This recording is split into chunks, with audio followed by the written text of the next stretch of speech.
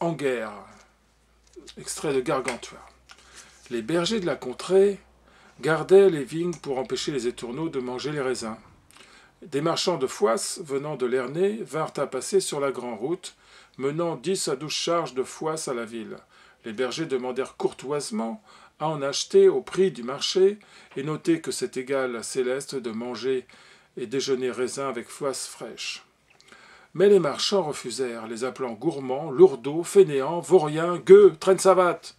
Ce n'est point à vous, dirent-ils, à manger ces belles foisses. Vous autres, vous avez une tête à manger du gros pain et du tourteau. Et les coups de pleuvoir. Les chartiers faisaient tourbillonner leurs fouets de cuir, les bergers ripostaient à grands coups de pierre, et les paysans leur venant en aide frappaient à grands coups de gaule et d'échalas les marchands insolents, qui bientôt demandèrent grâce. Finalement, les paysans leur enlevèrent quatre ou cinq douzaines de foisses, mais leur payèrent au prix accoutumé. À peine les marchands de gâteaux revinrent-ils à Lernay qu'ils allèrent se plaindre au roi Picrocole montrant leurs paniers brisés et leurs bonnets froissés et leurs robes déchirées. Ce sont les bergers les métayers de Grand Gousier, dirent-ils, qui nous ont assaillis près de la grande route au-delà de Seuillé. Aussitôt, Picrocole entra dans une colère furieuse et sans plus d'explication fit crier par tout le pays que chacun sous peine d'être pendu devait venir en armes sur la grande place du château avant midi. C'est ainsi, sans ordre et sans mesure, l'année de Picrocole partit par les champs gâtant tout sur son passage, n'épargnant ni pauvres ni riches, emmenant bétail, volailles, abattant les noix, vendangeant les vignes, arrachant les septes, et personne ne résistait, et chacun suppliait ses pillards d'êtres humains de se souvenir qu'ils avaient été bons voisins. Mais les gens de Lernay ricanaient et disaient Nous vous apprendrons à vouloir manger de la foisse. Picrocole et le gros de l'armée prenaient d'assaut la Roche-Clermont et mettaient le château en état de défense.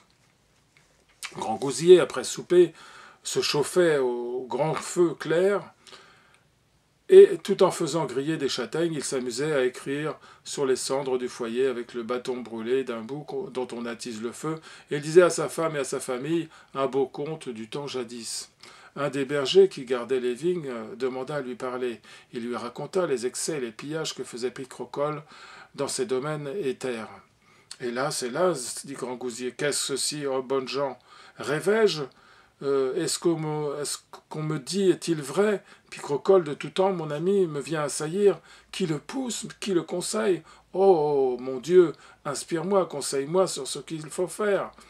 Je jure que jamais je ne lui ai causé dommage, bien au contraire, je l'ai secouru de soldats, d'argent, d'amitié et de bons conseils, toutes les fois que j'ai pu le faire, hélas. Ma vieillesse me demandait que le repos, et toute ma vie je n'ai rien cherché que la paix, mais il faut, je le vois bien, que maintenant je charge une armure, mes épaules faibles, hélas, et quand euh, ma main tremblante je prenne la lance et la masse d'armes pour secourir et protéger mes pauvres sujets.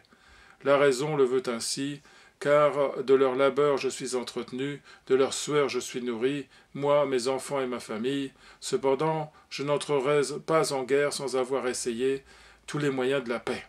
Là-dessus, Grand Gousier fit convoquer son conseil, et il fut décidé qu'on enverrait un homme calme et sage auprès de Picrocole, afin de savoir pourquoi les terres avaient été envahies.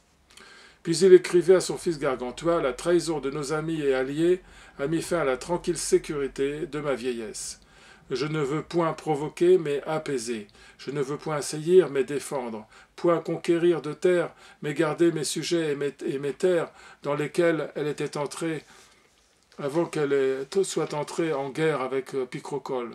De jour en jour, il poursuit sa furieuse entreprise avec des excès que nous ne saurions tolérer étant des personnes libres. C'est pourquoi, mon fils bien-aimé, reviens tout toute hâte servir les tiens. La guerre sera faite avec la moindre effusion de sang qu'il sera possible. Grand Gousier et la paix. Et le lendemain matin, Ulrich Gallet, homme avisé et discret, partit trouver Picrocole mais celui-ci ne voulut pas l'écouter.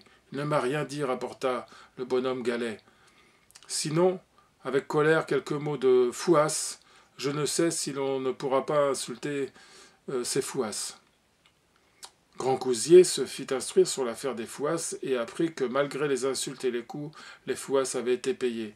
Malgré cela, Grand Gousier puisqu'il ne s'agit que de fouasses, j'essaierai de contenter Picrocole, car il me déplaît trop d'entrer en guerre.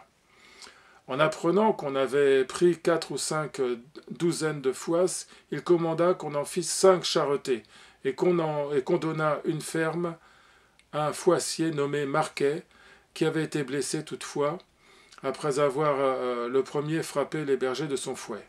Le bonhomme Galet et tous les chartiers, un roseau à la main en signe de paix, se rendirent chez Pricrocole, à la roche Clermont. Celui-ci ne voulut envoyer que son capitaine Toucledillon. Seigneur, lui dit Galet, pour achever ce débat et pour hâter toute excuse à ne pas revenir à notre ancienne alliance, nous vous rendons les foises qui causèrent la dispute. Nos gens ont pris cinq douzaines et les ont bien payées. Nous aimons tant la paix que nous en rendons cinq, cinq charretées. Quant à Marquet, je lui, souhaite, je lui cède la métairie de la Pomardière à perpétuité pour lui et les siens. Pour Dieu, vivons dorénavant en paix, retirez-vous sur vos terres, soyons amis comme auparavant. Tourquedillon raconta le tout à Picrocole. Parbleu, dit-il, ces rustres meurent de peur, Grand Gousier tremble, le pauvre homme. Ce n'est pas de son art d'aller à la guerre.